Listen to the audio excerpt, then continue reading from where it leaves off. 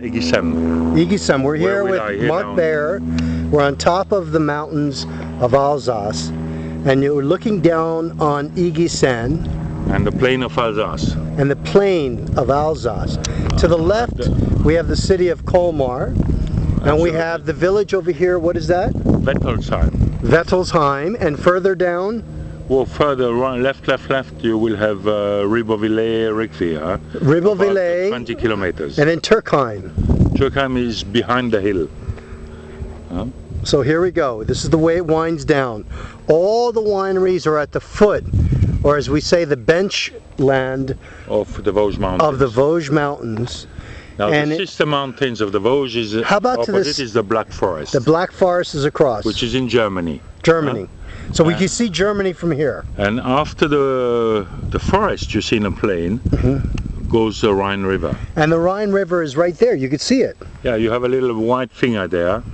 This tower is on the Rhine River. Ah, very good. Huh? Yes. And if you go uh, right hand, you see the Black Forest goes down, down, down. yes, And when the low point is Basel, Switzerland. that's Basel. So we can see and then Switzerland. right hand you will see the Jura mountains going up again. Ah, the Jura Mountains. And at the base of the Jura, you have the Savoy and Jura Absolutely. And regions. between the low point Basel, when it's very, very clear, you see the Alps.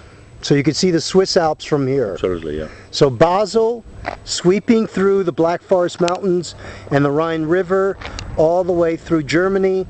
There we see the village of Eguisheim, and to your left, the more metropolitan area of Colmar. Small villages where the wines of Alsace and the Alsatian wine route will go at the foot of the famous mountains of the Vosges, and of course the famous castle of Eguisheim. Uh, This castle built in 11th century, and it's a long time ago. It's built 1,000 years ago. Huh? And let's take a look at the grapes.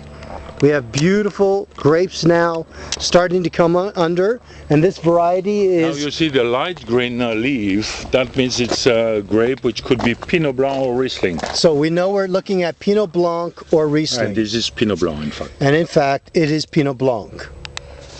So And you see the other there, uh, over here, dark green, yes, this is Gewürztraminer. on the left now, the difference. Take a look at Pinot Blanc, and we're going to move along, and we're going to take a look at a very close look at Gewürztraminer, and along the way some wild blackberries.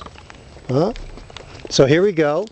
Now we go into a row, and we have again we have the one meter separation. We're benchland side of the mountains.